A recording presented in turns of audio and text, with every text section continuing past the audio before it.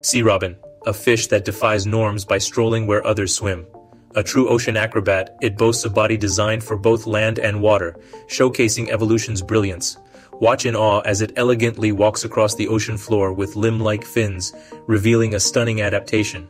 Found in coastal shallows, the sea robin bridges the gap between realms, harmonizing with marine and terrestrial ecosystems alike. Its unique courtship rituals, where it lays eggs in underwater burrows, keep its little ones safe. Genetic revelations tell the tale of millennia of refinement, sculpting an ambidextrous marvel.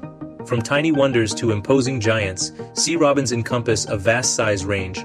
Their diverse forms a testament to nature's creativity. Fueling their journey is a diet as varied as their habitat, from marine to land-based meals. And now, prepare for the bizarre. This fish can survive on land for up to 24 hours using specialized air-breathing organs, blurring the lines of aquatic life.